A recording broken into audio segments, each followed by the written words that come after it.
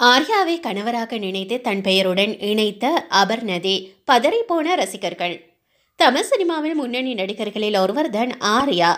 தமிழ் மட்டுமின்றி தெலுங்கு கன்னடம் மலையாளம் ஆகிய மொழிகளிலும் இவர் நடித்து வருகின்றார்.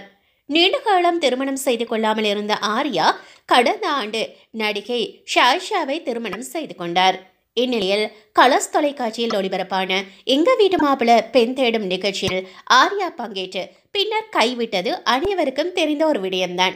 அதில் பங்கேற்ற அபர்நதி என்ற பெண் ஆர்யாவிடம் ரொம்ப நெருங்கியே பழகி வந்தார். ஆனாலும் ஆர்யா மனம் மாறி யாரையும் திருமணம் செய்ய சம்மதமில்லை என்று மறுத்து வெளியேறினார். இதையடுத்து நிகழ்ச்சி நிறைவடைந்த பிறகு அபர்நதி ஜி. வி. பிரகாஷுடன் ஜோடியாக ஜெயில் படத்தில் நடித்துள்ளார். படத்தில் நடிக்க தொடங்கியிருப்பதால் கவர்ச்சியுடையில் கலக்கல் போட்டோ ஷூட்டுகளை நடத்தி வருகின்றார் அபர்ணதி. இந்நிலையில் தற்போது ட்விட்டர் கணக்கில் தனது பெயருக்கு பின்னால் ஆறு யா என நடிகர் ஆர்யாவின் பெயரை சேர்த்திருக்கிறார். இதே போல தனது ப்ரொஃபைல் போட்டோவில் ஆர்யாவுடன் சேர்ந்திருக்கின்ற போட்டோவை வைத்திருக்கின்றார் அபர்ணதி.